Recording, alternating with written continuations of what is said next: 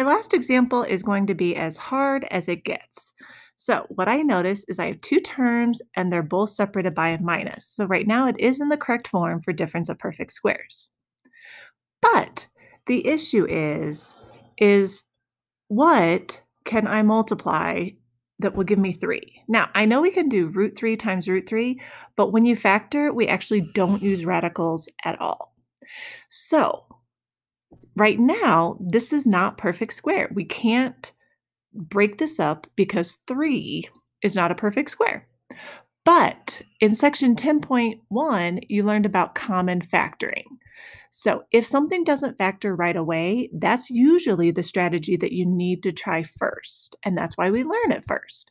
So if I look at these two terms, I can actually factor out a 3 which means I divide both of those terms by 3.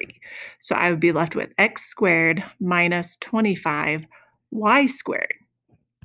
Now, if I look at what's left, I can leave the 3 alone, and these two are perfect squares, so I can factor it. So x squared breaks up into x and x, 25 breaks up into 5 times 5, and y squared is y times y. One's plus, one's minus. So all of this is actually completely factored form.